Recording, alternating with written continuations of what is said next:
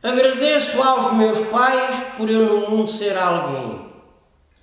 Por isso não é demais tudo que eu lhe fizer de bem. Deram ternura e carinho, deram muitas repreensões, mas deram boas lições, mostravam sempre o bom caminho. Se erraram um bocadinho, creio que não foi demais. Hoje estão nos dias finais esse amor que é tão profundo e por me terem dado ao mundo, agradeço aos meus pais. Gostava poder lhe dar tudo o que eles têm direito. É assim que me têm feito e eu gostava de lhe pagar. Mas já vi que vou falhar, o que eu não acho bem.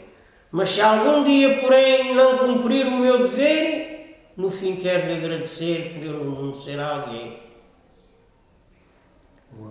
Aos nossos pais devemos dar todos o maior respeito. Eles têm esse direito, não lhe devemos negar. Eles, para nos criar, sofreram muito também. Eu não nego isto a ninguém porque gosto dos meus pais, por isso não é demais tudo o que eu lhe fizer de bem.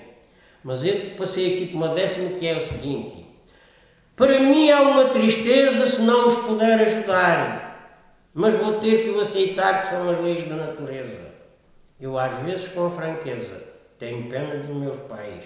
São eles quem sofre mais, tenham lá o que tiver, mas farei o que eu puder, e mesmo assim não é demais.